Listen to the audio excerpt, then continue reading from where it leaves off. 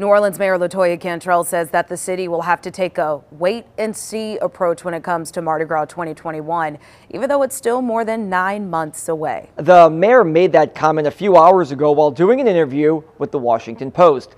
Take a listen to what she had to say, and we should point out we included the full question and answer.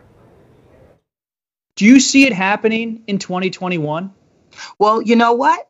It's something that um, we have to think about and something that uh, we have put on the table. It all depends, again, on when we reopen the city, the steps that we take to reopen, meaning I want slow and steady.